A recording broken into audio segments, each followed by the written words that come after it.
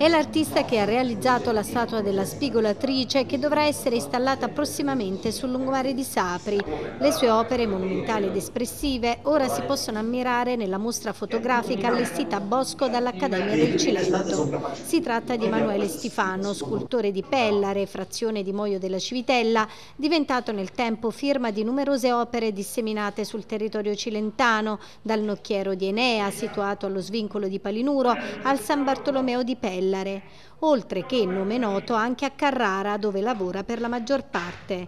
Il marmo infatti è il suo materiale d'elezione, ciò da cui questa passione è iniziata. Ho iniziato con un corso di ceramica, ho lavorato per, eh, per due o tre anni con la terracotta, sperimentando tecniche di terracotta antiche.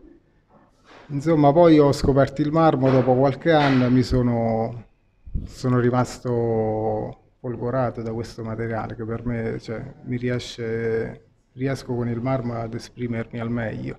Quindi lavoro il marmo da, da una quindicina d'anni e, e ho iniziato facendo una scultura monumentale, tra virgolette. Ho iniziato facendo una scultura scolpendo un blocco di marmo di 84 quintali, quindi è stato un inizio molto molto lungo, faticoso, eh, però ho fatto un sacco di esperienze. Essendo autodidatta ho, avuto modo di, di apprendere molte cose lavorando a questo blocco di marmo. L'abilità di Stefano si è poi perfezionata arrivando a dare intensità ed espressione alle sue opere, tutte di una certa grandezza, tanto che la mostra allestita nella residenza d'artista, rifugio del contadino, ne dà conto attraverso delle telefotografiche da cui comunque emerge tutta la suggestione delle sculture. L'appuntamento culturale è a cura di Accademia del Cilento, fucina di arte e di pensiero ideata dal pittore Cesare Siboni.